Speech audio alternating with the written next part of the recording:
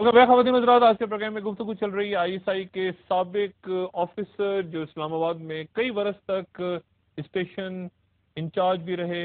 Major Aamir साहब मेरे साथ मौजूद हैं। मेजर साहब एक बार फिर आपका बहुत शुक्रिया। फिर वापस। आपका सबसे ज़्यादा जो नाम आया सामने वो ऑपरेशन मिड नाइट जैकॉल जिसमें आप मुंतखब हुकूमत मोहतरमा बेनजीर भुट्टो की उसे गिराने के लिए आप लोगों के साथ गुफ्तु कर रहे थे खरीदो फरोख का सिलसिला हो रहा था। और तहरीक अदम अतमाद लाने की कोशिश हो रही थी। और वो कैसेट्स इंटेलिजेंस ब्यूरो रिकॉर्ड करता है और मंजर आम पे लाता है। उसके बाद इंक्वायरी होती है सब कुछ और आपको फौज से सबकदोश कर दिया जाता है। तो आपका अपना जो किरदार रहा सियासत आप कहते हैं मैं सियासत में नहीं रहा और मैंने लेकिन आप के हवाले से ही एजेंसीज का जब भी रोल डिस्कस होता है पॉलिटिक्स में तो आपका ब्रिगेड इम्तियाज़ का ज़िक्र उसमें ज़रूर आता है उसके बगैर बात मुकम्मल नहीं होती। ये जो मिड नाइट जयकाल केस है ये बेसिकली आईबी का भी ऑपरेशन नहीं था। आईबी ने बेशक रिकॉर्डिंग की थी। असल में वो ट्रेप ऑपरेशन था। और ये मैं साबित कर चुका हूँ जीएचक्यू के सामने भी अपनी बेगुनाही साबित कर चुका हूँ उस इंक्वायरी में उसके बावजूद मुझे सजा दी गई। क्या ऑपरेशन क्या था? आप गुफ्तु कर रहे हैं ये मैं आप हाँ। कहते हैं आप मुझे ये बताइए मैं खुदा की कसम खा के कहता हूँ कि फौज के सरबरा ने कह दिया है कि हम्म। बेनजीर भुट्टो की हुकूमत को खत्म होना होगा। फौज का कोई शख्स इस यानी बेनजीर भुट्टो के भारत के साथ ताल्लुकात को बर्दाश्त नहीं करेगा। तो आप वहाँ पर ये गुफ्तु कर रहे हैं। हाँ कर बिल्कुल। तो ये बिल्कुल। ये पहले ये गुफ्तु कोर्ट में कभी भी वो ओरिजिनल कैसेट पेश नहीं कर सके। अगर आईबी ने ये रिकॉर्डिंग की तो जो दावा करते थे बाहर जनाब बाबर भी कहते रहे आईबी के सरबराह भी कहते रहे प्राइम मिनिस्टर भी कहती रही उस वक्त की। तो इनको वो ओरिजिनल कैसेट कह हमने वीडियो रिकॉर्डिंग की वीडियो रिकॉर्ड तो पेश ही नहीं हुआ। ओरिजिनल कैसेट्स पेश नहीं हुई कैसेट टेम्पर हो जाते हैं लेकिन मैं कहता हूँ कि हमने ये बातें की है मैंने की है ऐसे इनकार नहीं करता हूँ। मैंने कहा कि ऑपरेशन मिड ने जेकाल इसलिए नहीं था कि मैं मैनेजर गवर्नमेंट को डिस्टेबलाइज कर रहा था। ये आवाज़ आप बिल्कुल मेरी थी। कैसेट में आपकी बिल्कुल मेरी थी। अब ये मतलब आप कैसे इसको किस तरह से जवाब ये मैं सारे ओन करता हूँ। वो आपसे बात करके सौदा फाइनल करेगा वो आपकी माली सब हुआ है। सारी बातें एक तरीका ये है कि आदमी खुद को जींस की तरह फरोख्त कर देता है और पैसा ले लेता है लेकिन हम ये काम दूसरे तरीके से करेंगे ताकि आप सियासत में ज़िंदा रहें और उनकी डिस्प्यूट क्या है? मैं इसको ऑन करता हूँ। ये क्या कर रहे थे? हुआ ये कि मैंने उन्हें कहा कि सर आईजेआई का मलक नहीं है हमारा दोस्त है। वो बड़ा एक्टिव है नो कॉन्फिडेंस में। मुझे सिर्फ़ उसके साथ रेपो बनाना पड़ेगा उसका कॉन्फिडेंस विन कवर करना पड़ेगा ताकि मैं अनवेटिंग इंटरव्यू के ज़रिए उस इन्फॉर्मेशन वो इन्फॉर्मर तो नहीं बन सकता लेकिन जब उसको मेरे ऊपर अहतमाद आएगा तो वो मुझे कुछ बताएगा। When he thinks I am one of them या तो वो मेरा मुखबिर होता तो वो मुझे इन्फॉर्मेशन देता। हम्म। तो आप जब इस तरह के इन्फॉर्मेशन लेते हैं तो आप इनग्रेस बनाते हैं। इनग्रेस बनाने के लिए मुझे उस पर कॉन्फिडेंस अपना बिल्ड करना जो आप कर रहे थे ये अपने डीजी के इजाज़त से कर रहे थे? बिल्कुल। कल्लू साहब को बिल्कुल सुनिए लेकिन बाद में कल्लू साहब ने फ़ोन किया उस उस मैंने जब जनरल कल्लू को उनको मैंने एक कैसेट भी दी उन्होंने कहा मेरे पी एस में जब निधि में उसको दे दे मैंने उसको दे दी। मैंने उससे कहा कि सर मैं मुझे खतरा है ये कोई बात बना देंगे तो अगर मुझे आप फ्री हैंड दे दे तो उसने कहा बिल्कुल। फूट रेप ऑपरेशन कर रहे थे। मैं तो अपना अब वहाँ जब मैं गया मैंने ये बातें की अब आप देखे मैंने मलक नईम पे अपना एतमाद बनाना है। और मैंने उन एमएनएस को भी इंप्रेशन देना है कि मैं मलक नईम का आदमी तो मैं वहाँ क्या बात करता? तो मैं शायद बक हो रहा था हमें तो पता नहीं था। आई भी बक कर रही थी। आई भी बक कर रही थी। नईम के पास मैं गया उससे जो इन्फॉर्मेशन मैंने एक्सपेक्ट कर दी मैंने सुबह सुबह जनरल कल्लू की पी एस मेजर नदीम को फ़ोन पे लिखवा दी। और मैंने कहा मैं बाद में खुद आके डीजी को ब्रीफ कर दूँगा। दो घंटे बाद जब मैं दफ्तर गया तो मेरे दफ्तर के दरवाजे बंद थे I was told you can't enter your office जब ट्रायल शुरू हो गई जी में तो मैंने वहाँ पे उन सारी ब्रीफ्स की कापियाँ दे दी जो मैं डीजी को देता रहा और मैंने कहा मैं तो डीजी के लिए ये कर रहा था मैंने इसके रिजल्ट्स भी डीजी को दिए हैं। रिटर्न ब्रीफ दे रहे थे? हाँ रिटर्न और मैंने वहाँ जो स्टेटमेंट दी बारह सफ़ा तो उसमें ये सारी चीज़ें मौजूद हैं। क्योंकि मैं तो हैरान हो गया कि ये कहाँ से ड्रामा हुआ है। मैं दो साल मुसाद के एजेंट के साथ रहा हूँ और मैं एंटी पाकिस्तान रहा हूँ। कि मैंने फला जगह दमा की तो।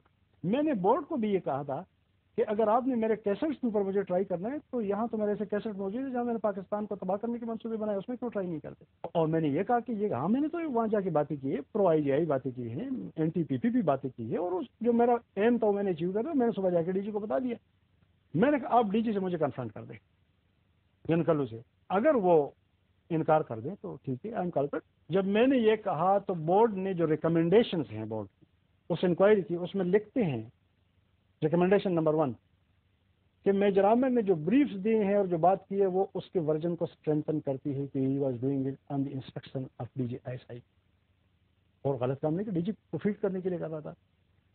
लिहाजा बहुत ज़रूरी है कि मेजर आमिर को डीजी के साथ कन्फ्रंट किया जाए और इसके लिए मेजर आमिर भी वेरी स्ट्रांगली एडवोकेट्स कि मुझे कन्फ्रंट किया जाए। So he should be confronted with the DG ISI and if as a result of that confrontation he is prove otherwise यानी अगर डीजी इनकार कर देते मैंने then he is liable to the following action. Number one, tried by field and court martial.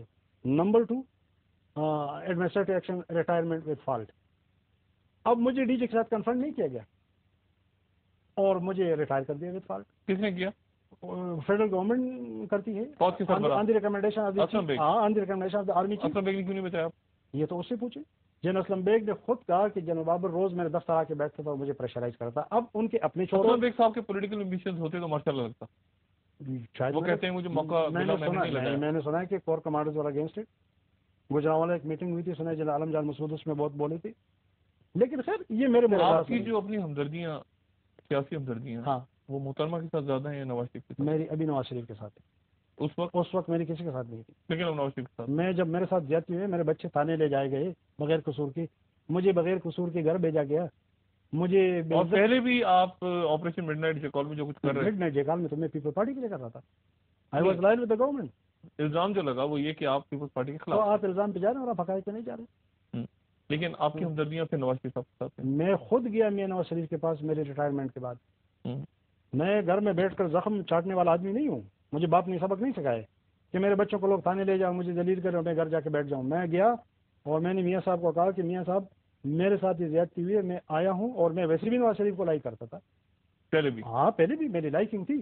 ये आप individuals को like नहीं करते। मतलब मैं मैं आपको आज मैं तीन आदमी एक आईएसआई का स्टेशन चीफ हाँ। नवाज़ शरीफ को लाइक कर रहा है। हाँ बिल्कुल। इस्लामाबाद के अंदर मैं तो को भी लाइक करता था।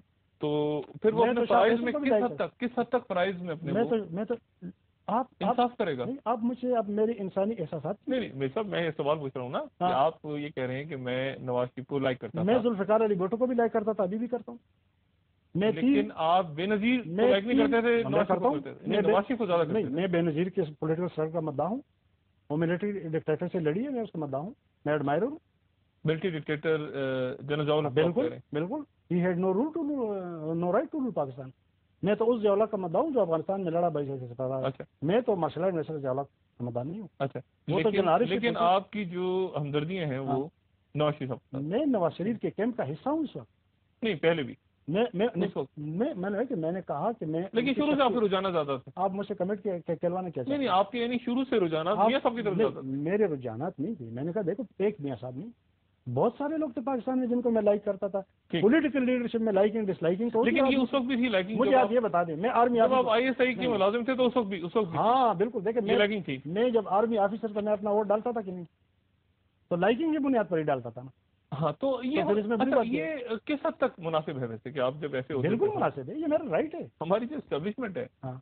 मजमूई तौर पे वो प्रो पीपल्स पार्टी है कि एंटी पीपल्स पार्टी मजमूई तौर पे। मजमूई तौर पे anti political government anti political government not only anti Benazir बल्कि अगर आप देखें तो एस्टेब्लिशमेंट ने बेनजीर भुट्टो के साथ साथ नवाज़ शरीफ को भी नहीं बख्शा है। ज़्यादा खिलाफ किसके? हैं? सोच ज़्यादा खिलाफ उसके हैं जिसके पास आवाम का मैंडेट होता है। चाहे वो जुल्फिकार अली भुट्टो चाहे वो किसके पास? बेनजीर के यानी कम खिलाफ है नवाज़ शरीफ के ज़्यादा? मैं कहता हूँ हम्म, उसके भी खिलाफ होंगे लेकिन मैं तो मियाँ साहब के मुखालिफत को जानता हूँ। नहीं आपसे सवाल ये था कि एस्टेब्लिशमेंट ज़्यादा बेनजीर के खिलाफ है या नवाज़ शरीफ नहीं मैं नहीं कह सकता मजमूई तौर पे सोच। मैं, मैं तो कहता हूँ कि ज़्यादा नवाज़ शरीफ को डसा है। आपके सामने सारी तारीख आपके सामने बेनजीर को पसंद करती है? बेनजीर को पसंद करती है? अगर आवाम साथ में हो। तो अवाम साथ है या नहीं है हाँ, फिर? आप बताइए। महराज खालिद को पसंद करती है मोइन कुरेशी को करती है बलक्षेर मजारी को करती है। हम्म। ज़्यादा करती है। मौजूदा वजी अजम साहब को भी पसंद नवाज़ शरीफ साहब को बनाने में हम्म। कौन सा किरदार था। सियासत शुरू? बनाने जी हाँ। सब आपके सामने? नहीं था या नहीं था? वो आए थे मिलिट्री गवर्नमेंट में वो आए थे पॉलिटिक्स में? मिलिट्री का ही रोल था। जनरल जेलानी गवर्नर पंजाब थे जब वो आए पॉलिटिक्स में? उन्होंने उनको इससे कौन करा। इनकार कर सकता है? और आईएसआई ने फिर उनको। लेकिन आप एक बात देखें नवाज़ मैं आपसे सवाल हाँ हाँ। आईएसआई नहीं फिर उनको। नहीं मुझे ही का पता नहीं। लेकिन फौज ने उनको। पब्लिकली वो बैठ गए मिलिट्री गवर्नमेंट का ना। भुट्टो साहब भी मिलिट्री गवर्नमेंट में आए थे अयूब खान की। मुझे आप पाकिस्तान के पॉलिटिशियंस में सिवाय महमूद अचकजई के एक नाम दे दे जिसने आर्मी से कोलेबरेट न किया। Just name one except Mahmood Achakzai. क्या बात करते हैं डॉक्टर साहब? लेकिन अगर आदमी कहता है कि हाँ वो मैंने गलत किया था ये मुल्क के मसले का हल ये है तो आप उसको माजी के ताने देते रहे। अगर आप माजी पे जाए तो फिर हमारी तारीख से तो हज़रत उमर रदी का नाम खारिज करना पड़ेगा। अगर नवाज़ शरीफ की आज की मौकफ की बात करें क्या वो गलत है या ठीक है? वो ठीक उसका मौकफ ठीक है आज।